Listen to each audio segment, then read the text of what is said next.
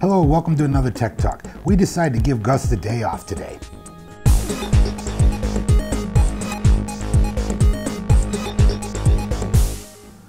After 52 straight weeks of Tech Talk, we decided to finally give Gus a day off.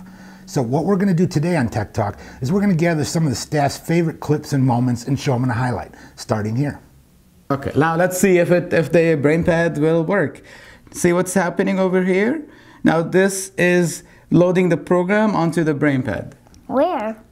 Through this cable. It goes through this Oh. cable into the BrainPad. Ah. Our studio where we do the tech talks and all the other videos. It's right over here.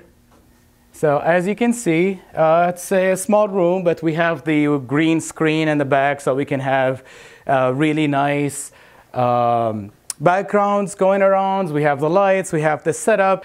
This is Gary, uh, our favorite superhero. He's always busy doing stuff.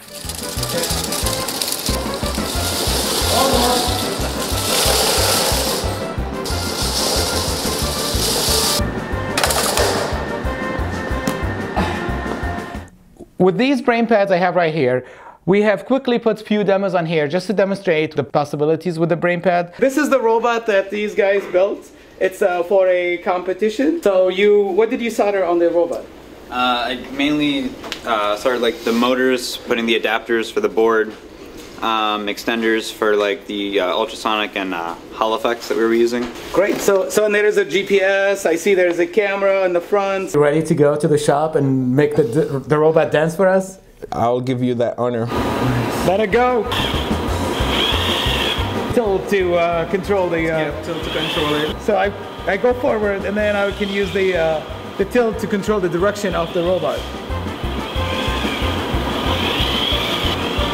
I'm a terrible driver. You know what Gadgeteer is? It's everything on this table. If you know what that is, you probably really love it. Let's talk about that. 900 because you can talk to me about electronics all night. I know you want to build your next project. You just need an inspiration.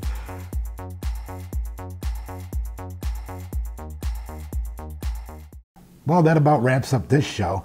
Gus should be back next week after the one week hiatus we gave him. Um, hopefully, he's rested up and ready to bring you back some more tech talk. Well, we'll see you next week.